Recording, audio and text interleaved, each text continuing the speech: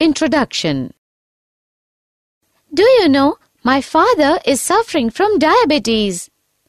Oh, was your grandfather also diabetic?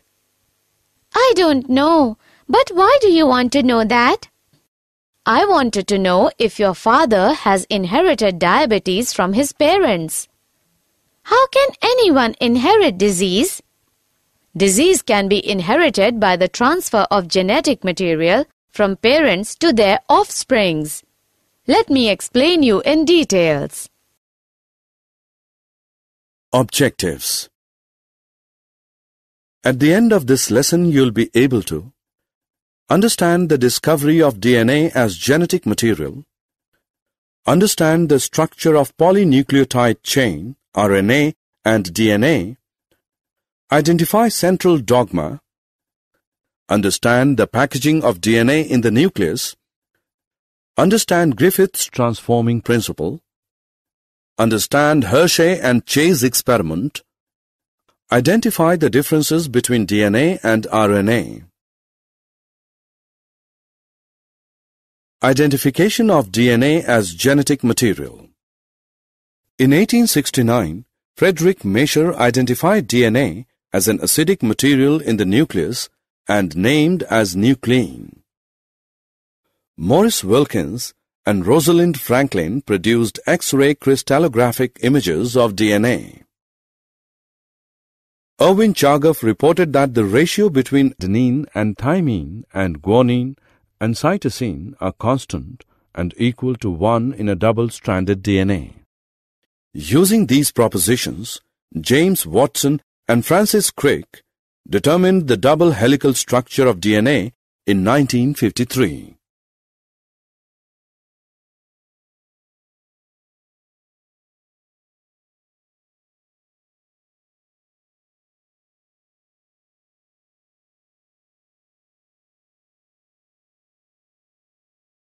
Polypeptide chain A polynucleotide chain can be formed in the following steps.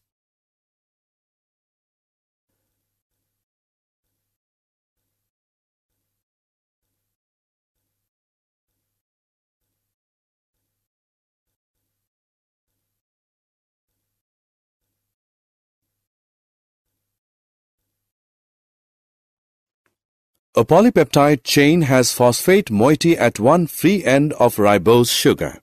This is known as 5-end of polynucleotide chain. Other free end of ribose sugar has attached OH group. This is called 3-end of polynucleotide chain.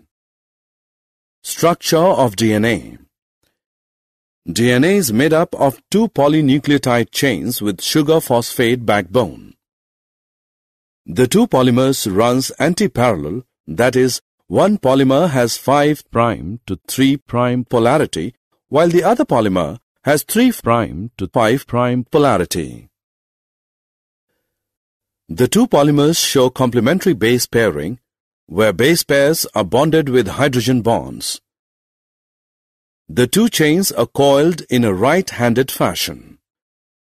Bases are paired in the helix after every 0.34 nanometers and the helix turns after every 3.4 nanometers.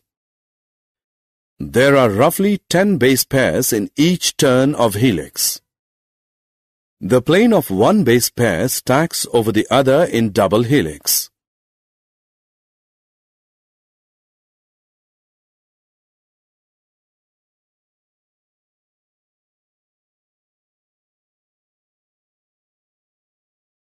Central dogma Central dogma refers to the flow of genetic information in the following manner. It was proposed by Francis Crick. Packaging of DNA helix in prokaryotes. A typical mammalian cell DNA double helix has a length of about 2.2 meters. How is it accumulated in a small nucleus?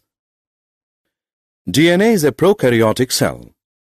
In prokaryotes, DNA is organized in large loops and is held by proteins in nucleoids. Packaging of DNA helix in eukaryotes.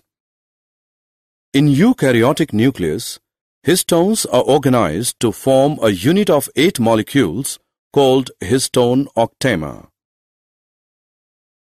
DNA negatively charged gets wrapped around the octamer to form nucleosome.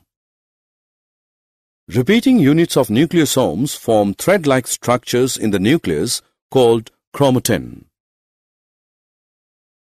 The nucleosomes in chromatin are seen as beads on string under electron microscope.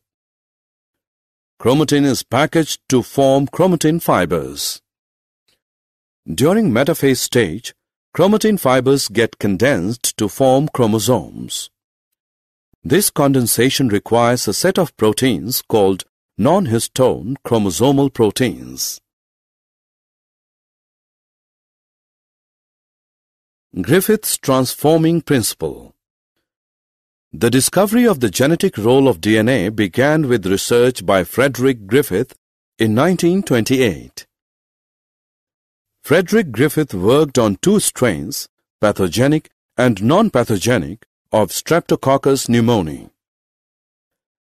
Griffith found that when he mixed the heat-killed remains of the pathogenic S strain with living cells of non-pathogenic R strain, some of these cells became pathogenic. Griffith called this phenomenon as transformation.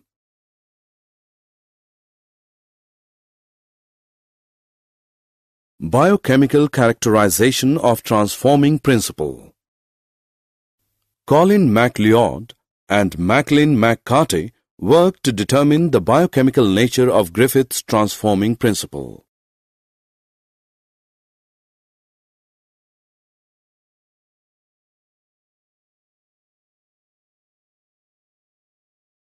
Hershey-Chase experiment In 1952, Alfred Hershey and Martha Chase performed experiments showing that DNA is the genetic material of a bacteriophage known as T2.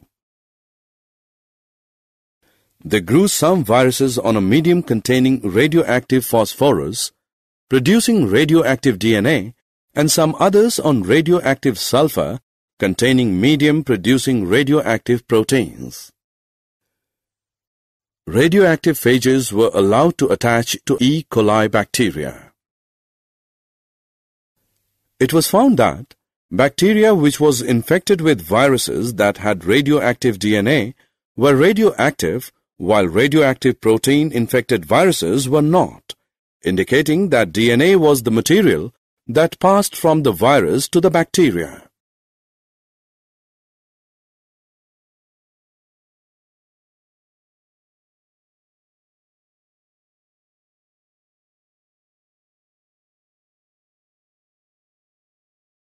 Properties of genetic material A molecule must fulfill the following criteria to act as a genetic material.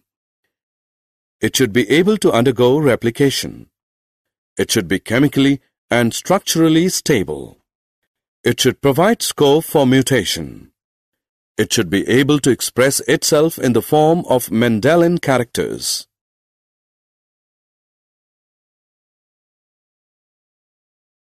RNA RNA was the first genetic material. Essential life processes and protein synthesizing machinery has evolved around RNA. RNA can act as a genetic material as well as a catalyst.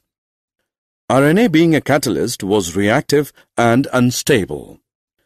Thus, DNA evolved as a stable genetic material from RNA.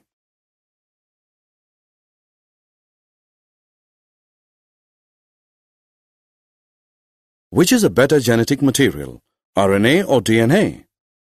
These are some characteristics of RNA and DNA.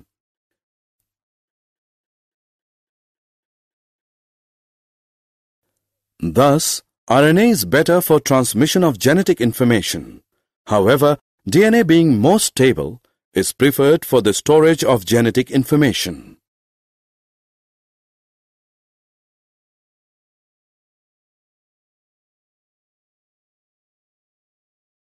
Did you know DNA can be synthesized in test tubes using a small amount of performed DNA, DNA polymerase and all the four deoxynucleotides. This helps in purification of DNA polymerase along with the production of biologically active DNA. Summary Let us summarize what we have learned. DNA stores genetic information. RNA mostly helps in transfer and expression of information. DNA being chemically and structurally more stable is a better genetic material. DNA is made up of two polypeptide chains. The base pairs in the DNA helix are attached by hydrogen bonding. Complementary base pairing occurs in the DNA helix. Frederick Griffith experimentally worked out the transformation principle.